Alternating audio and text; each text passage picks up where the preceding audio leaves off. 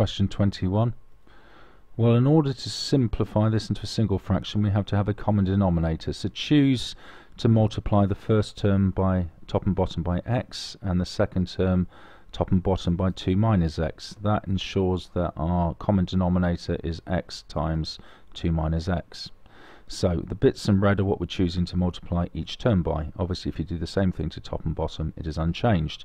So multiply out the numerator, we've got 5 times x, and multiply out this numerator, we've got 4 times 2 and 4 times minus x. So popping that all in a bracket, we've got 5x minus 4 times 2 and minus 4 times minus x.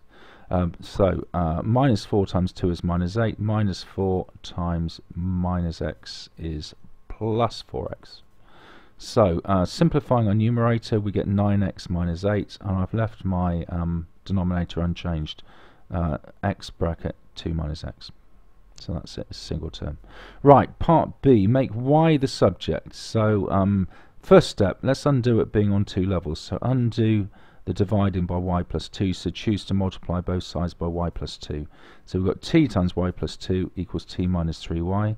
Multiply out the bracket, ty plus 2t equals 2 minus 3y.